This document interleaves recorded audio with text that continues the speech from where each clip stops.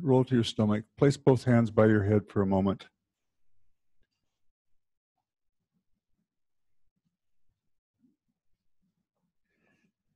And take a moment and again notice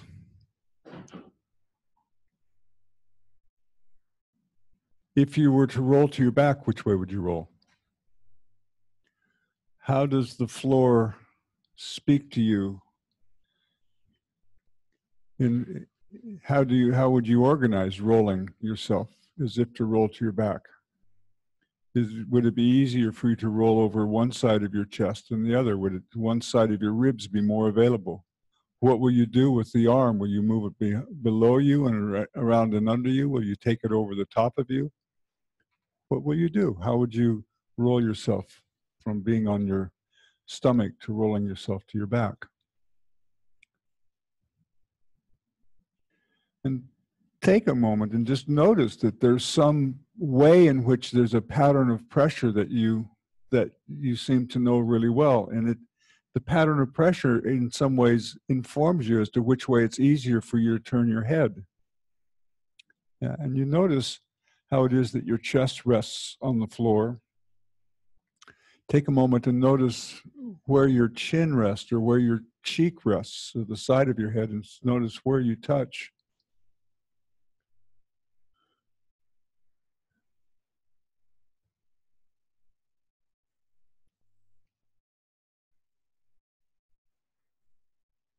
you take a moment to notice for yourself where your heels are.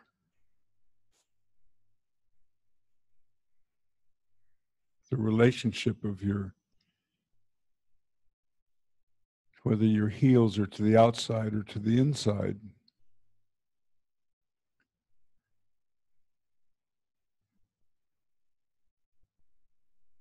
And take a moment and begin to turn your head to the other side and notice the very first moment that you begin to turn your head to the other side where you find the support, where you find the floor to give you the ability to t- lift, and so that you can sense the weight of your head.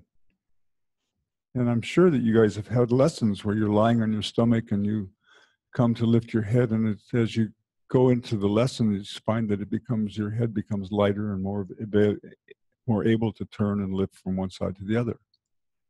But now, please turn and bring your head to the other side and listen to where your face rests on the floor. And notice, it's an interesting to notice. Go back to the original side and notice where you have more weight on your on your pelvis, whether you have more weight on the right side of your pelvis or your left.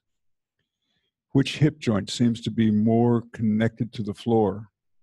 Is one knee bent and drawn up to you a little bit more? In other words, how did you come to this, to be in this position? And then watch as you turn your head to the other side and watch very carefully whether your pelvis actually changes where the pressure is or whether it stays the same.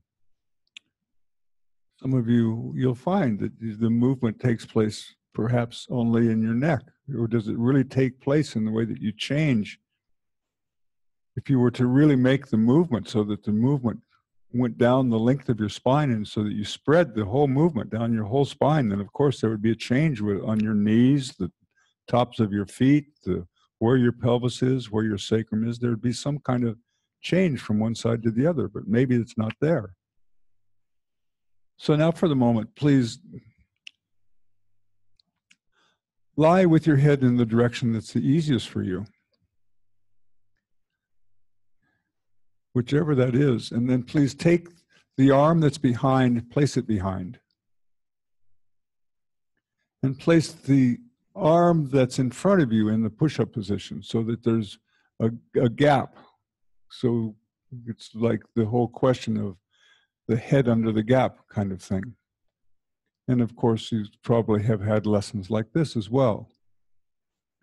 Now, for the moment, please, for the moment, please begin to draw. If your head is to the right, it'll be your right knee. If it's to the left, it'll be your left knee.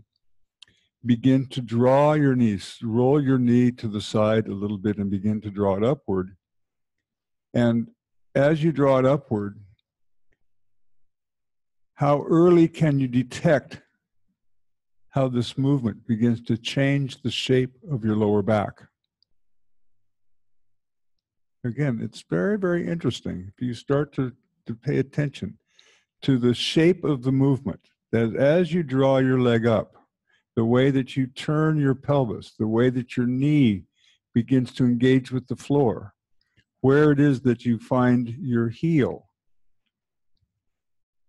the way that you make this movement, the initial movement. Yeah. And as you make this movement, the very first moment that you make this movement, please begin to sense that as you make this movement and as you make the movement with your with your knee drawing up and the sensation of what happens with your lower back, how early can you detect in what direction would your head move?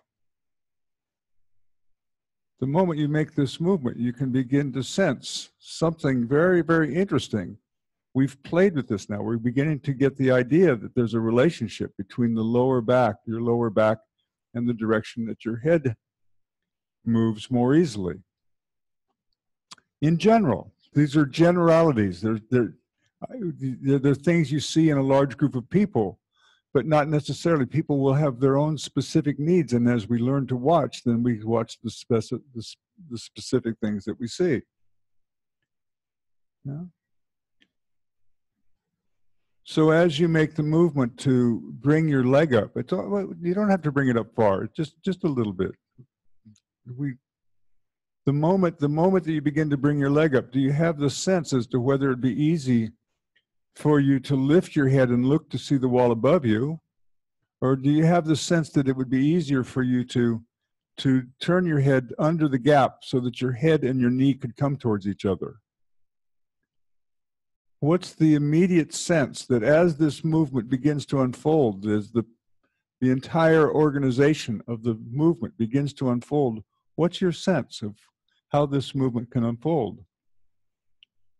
Some of you, if I said to you, bring your knee up and bring your knee and your head to your to your knee, you would say, that doesn't make sense. And yet others of you are going, he's teaching the lesson just for me. This is just this lesson is for me. Huh? I've got it. I've got it right. Yeah. Okay. So now leave that for a moment. Leave it for a moment.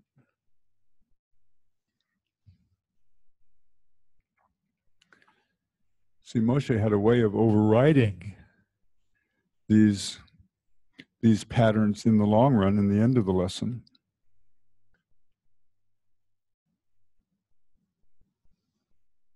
Please turn your head now to the other side. So the other arm is behind you. You place your other hand in the push up position. So, in whatever way it is that you make this movement, where you place your hand, it, it, it, it, your hand is not on your back, it's just along your side. That's it. And please now begin to make the movement of turning your leg and beginning to draw your leg up on this side.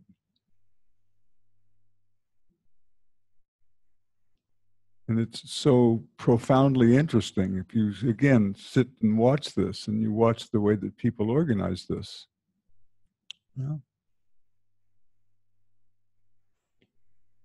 That there's something very, very different about the way that people make a purchase as to where their knee touches the floor and how this the weight of the leg and the way that they bring this whole movement to being to bear. Yeah. So come around for a moment you you stay right here you you stay right there you stay there you, you're you know that you're a good example yes So come around for a moment.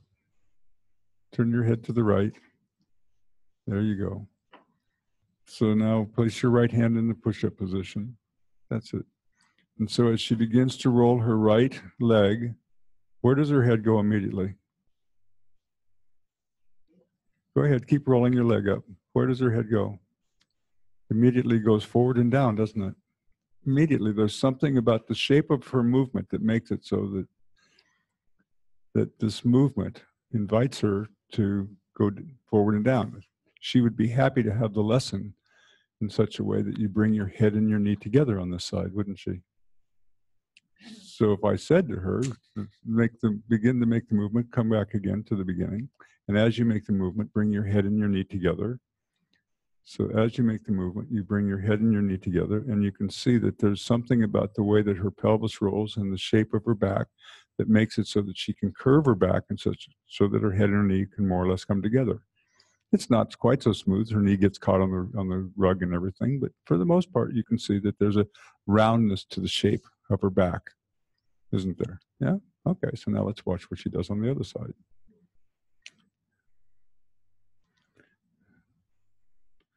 So when she starts to make this move, put your hand in the push-up position. Put your hand in the push-up position. Come back again. That's right. But what? Watch. Yeah. What is it that's inviting her head to come back? And then if if, if she came back, it would come up. But now look at the shape of her back. Yeah. What is it? How is it that her back now has such an arch, and you can see the tilt of her sacrum? And you can see then that this puts a pressure somewhere on her ribs in such a way that there's no way in the world that she's going to have the sense that, of taking her knee and her head together, is she?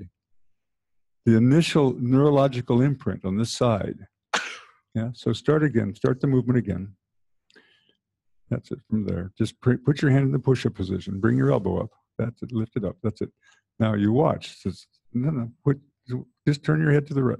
That's it. Leave your head there to the left. Now just begin to make the movement and watch right there. Watch what happened to the shape of her back. As their back tonifies, doesn't that begin to tonify all the way along the, the spine? The spine, yeah.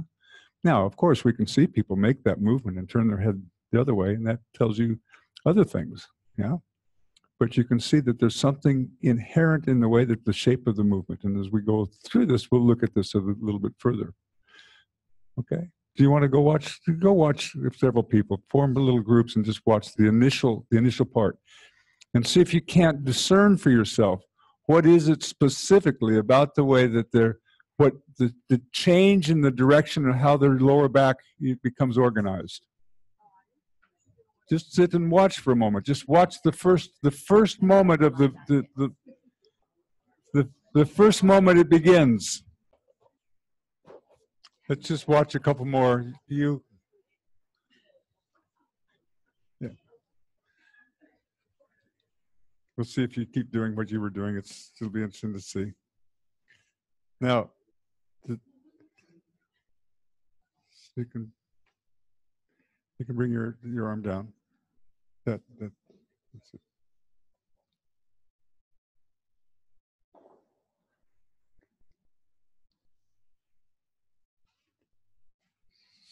So there's something about how the initial movement makes it so when he begins to roll that he has a, an availability with his lower back and his spine to keep rounding. And if you watch really carefully, his leg is almost a, a weight that's drawn up. He's not engaging his leg in the process of, of lifting. And you watch where he turns to on his knee, where he turns, how far he goes, because at this point in time, you could see that if you asked him at any point in time from here to drive himself upward, there's no, no point on his knee that he finds that he could push himself upward on. Yeah? Pushing himself upward, he would have to rearrange himself. Yeah? Okay, so we, we, we watch for a moment and change to the other side just for a moment. And we watch.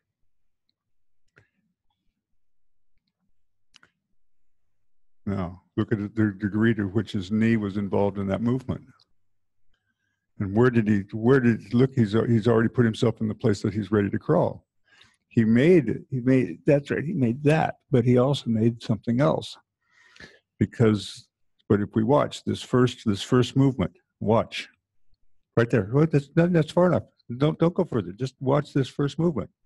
And the degree to which his knee comes up and into his pelvis. Now his knee has a point that if I hold his knee, that's right. He has a point of contact that he can use to take himself upward. Yes? If I gave him this and I held him here with his knee there, he's all set. This movement will unfold and drive him upward. Yeah? So he's ready now to make this movement in such a way that this would lead to him lifting his head. Yeah? That's clear? Not clear? Huh? Yeah. Okay, so now come to the other side again, just for a moment.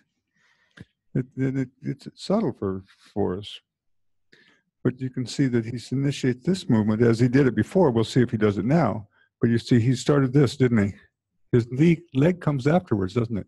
And his leg, at no point in time do you see his leg come into his pelvis in such a way that he's organized as if he's going to push himself upwards. That's right. There's no point in time in the movement that his leg provides him that. His leg has, in essence, rotated outward. And so he's taken it out a distance around himself. Yeah. Which is great because what does it does? It gives him the whole ability exactly to do that. It gives him the whole ability for his wait, wait, wait, wait, wait. it gives him the whole ability for his sacrum and his low back to round so that he can round across the entire internal curve and distribute the curve within himself so he has the greatest ability to round himself. Yes? All right. Now we can see that if we give him the message to do this and to bring this up in this place, oh, excuse me, let's go to the other side just for a moment. And we bring this up into this place, and he has this tone in his back, and then we ask him to bring his head and his knee together. How can he bring his head and his knee together? There's a long time, he can, but he has to rearrange himself partway through. The initial movement isn't, he's, he's got a conflict in the, in the initial movement. Yeah? So go ahead. That's right. Now he can change this, obviously, because he can start the movement there. And he can, then he's changed where his leg is. Okay, so now let's watch a couple others just for the fun of it. Let's watch you. Go ahead and find the mat here. Okay, if it's okay. Yeah, because you're you're more subtle in your in your in in how you uh, in how you do and don't don't do. So let's go ahead and watch this. Now, right there, she's trying to bring her head through forward but does the shape of her back allow it? Not really, does it? You can see that the tone in her back is is such that it's not going to be easy for her to bring her head through. Yeah. Now she has to really work. And she still hasn't changed. Now she's finally beginning to change the curvature of her lower back. So it becomes a question of how she's going to time when she's going to bring the different elements of her back into play. Now let's watch what she does on the other side.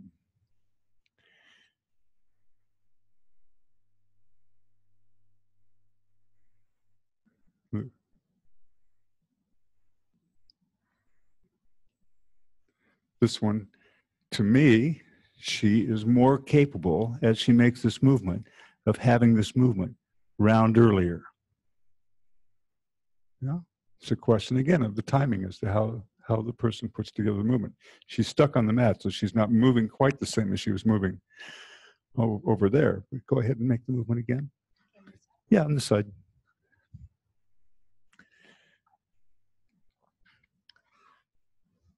That's right. This whole thing basically rolls across her. Now she has that whole potential. And then you can see the potential in here for her whole spine to begin to, to round. Yeah? Okay, so we we watch and she starts this movement. No, no, this side, the right to the right. And you watch as she makes the movement. Right there. Didn't her knee find the floor? Didn't she find the floor as uh, if she had to, she could crawl from there? She found for the moment, as she made the movement, that she found purchase. She did not go there. Yeah? Now it'd be easy for her from there to roll her roll herself and roll herself and bring bring your head and your knee together. Bring your head. That's easy if you're out there like that. Okay. Yes. No. Yeah. No, I understand that. But we're looking, we're looking at the subtlety of the movement, the timing, the things that, that that's inherent in all the movements that are hidden in the very first times that we start these movements that we really don't know, haven't historically known how to listen to. We just go through the lessons. But we don't know within the lessons how the initial way that I organize the movement determines the quality of the movement for myself and I, I get to have the effect of the lesson because we'll go through the lesson now and you can play with it. And then you'll see how Moshe makes it so that whether you want it or not, you'll be you'll be the same on each side.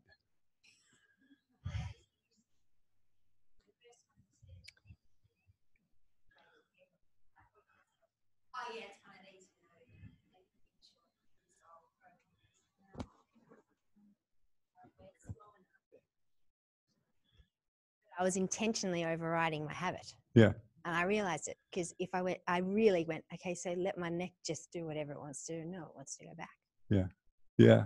But the language of the lesson, you know, you know, I, my, you know, all my history of these lessons, oh, it's strengthening, locking, well, and my hands here. So, you know, and you said Yeah. you've probably done these lessons where you've looked under your arm. Right. All this stuff starts going in my head. So, yeah, it was interesting. Yeah. But- And and it is it is it is interesting for us to start to understand how to capture the initial intention that, that we have within ourselves. Yeah.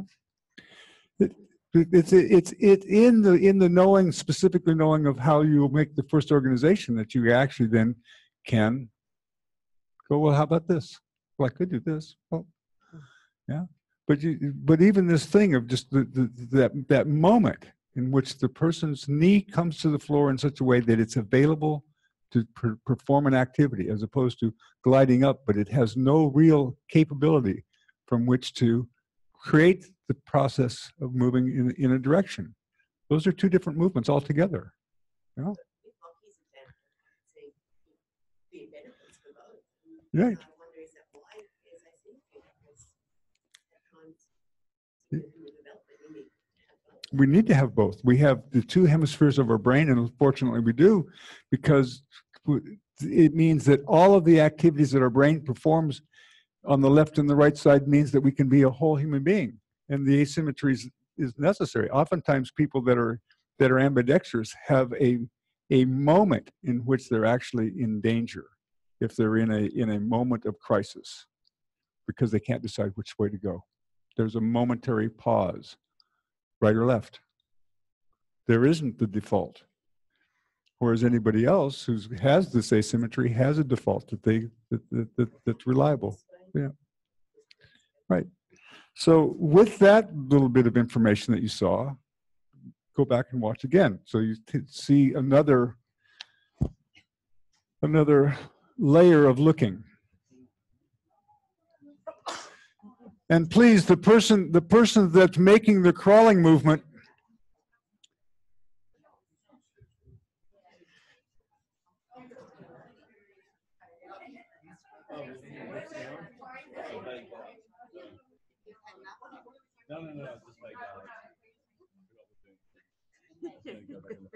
just it's probably better to just do them one at a time. Just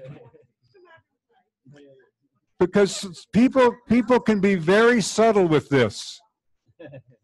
It can be very subtle. But if you watch how the leg turns and you watch the direction that the pelvis initiates and you see whether the leg creates a condition or a, a point of purchase some way in which the leg is drawn up and into the pelvis and it begins to change the lower back. And then if you just leave it that far, that's enough. You can see now the shape of her back. It's going to be hard for her head to come through. Yeah. So you just you're just looking. It's not it's not to bring your head and foot together. You're just looking at what, how the person initiates the movement, how their leg turns, where they find the point of resting, the way that they roll their pelvis.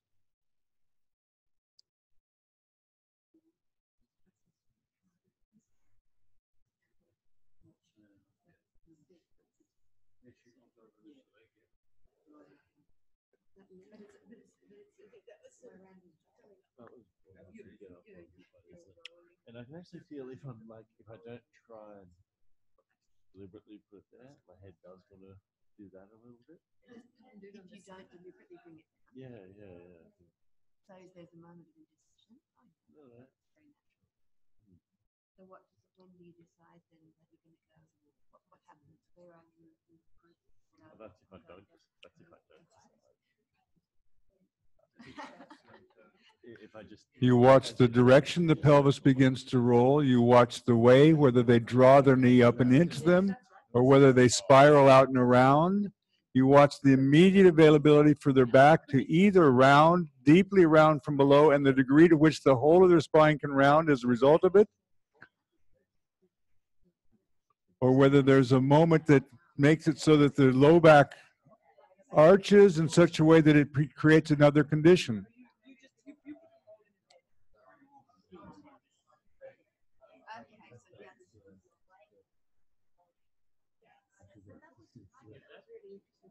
so yeah. So you get, so you get.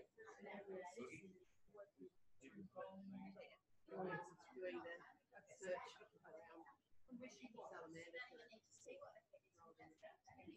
around. Salamander.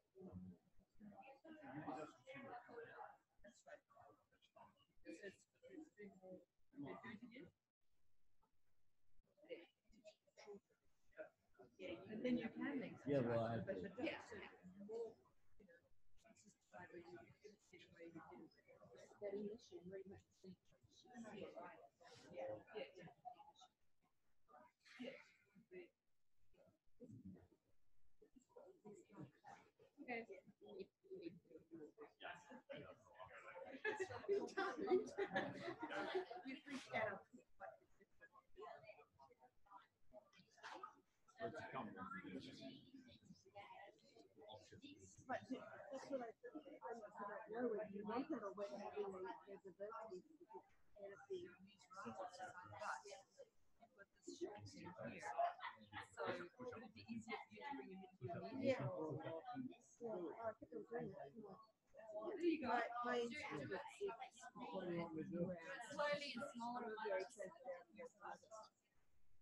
Do what, what, what it- what he says. So now you've actually changed.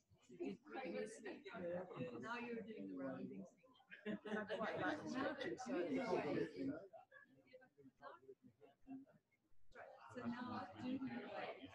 you would find. Oh, yeah. You direction, do that. Oh, it's in That's the- right, that's right, but where did you find that anyway? So. Yeah, well. Would I? No. N- Um, uh, well. I would have to, that, I So. I wonder, Ramon, if you just like.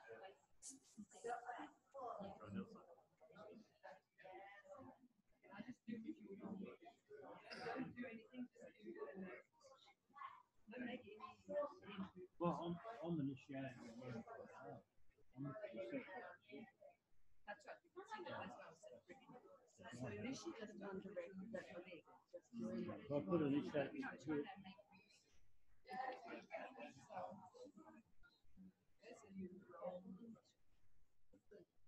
Oh, yeah.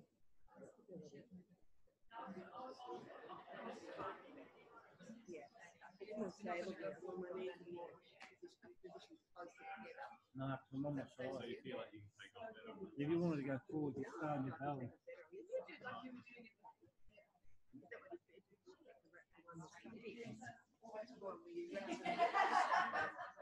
That's a, he's giving a demonstration of another kind of crawling, which is,